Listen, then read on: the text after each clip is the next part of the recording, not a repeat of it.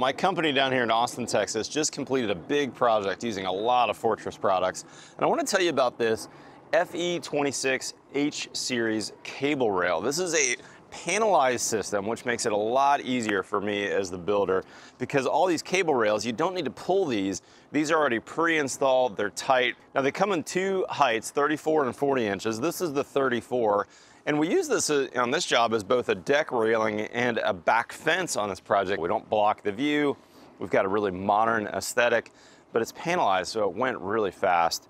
There's some options on posts. We've got two inch and three inch posts available. And the other thing I really like about these is high corrosion protection. The steel railing is protected with Fortress Shield, which includes four layers of protection, including E-coat and powder coating. E-coat is what they dip cars with for corrosion resistance. 3 16 stainless. They've got a 15 year warranty on this. It's a nice product. You can learn more on the Fortress website.